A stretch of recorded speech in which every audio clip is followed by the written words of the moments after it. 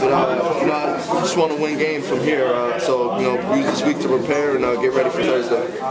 It seems like you guys aren't exactly celebrating this too much. I mean, coming to UCLA, you're, you're taught you don't you don't hang Sweet 16 banners. Uh, you know that that's cool to get here. We haven't been here in a while, but you know we, we, we they don't hang Sweet 16 banners up in Pauley Pavilion. Mm.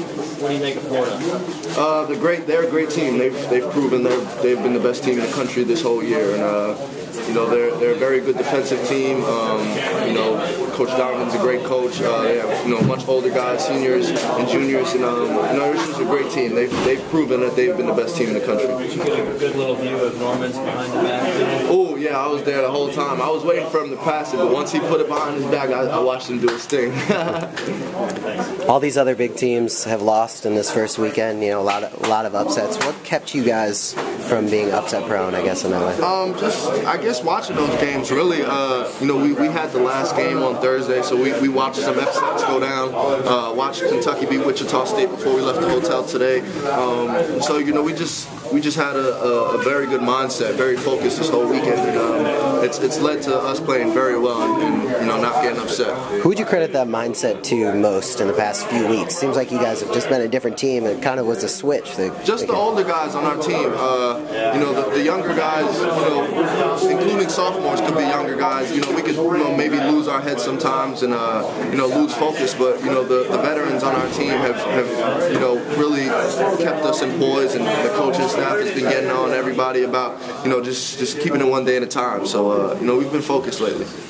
What do you think, I mean, you particularly against Florida? It seems like you know you got to be able to handle the ball and get get into your get into your sets and stuff like that. Is there a, even more responsibility on you? Um, yeah, always with a point guard when you're playing a you know a good pressure team defense like that. It's a uh, it's going to be tough for me, but um, you know, it's, it's, it's it comes with the territory. Uh, you know, they they I watched them a few. They run that run and jump uh, defense, so it's, it's going to be tough. But uh, I'm just going to use my teammates as, as, as, best as I could.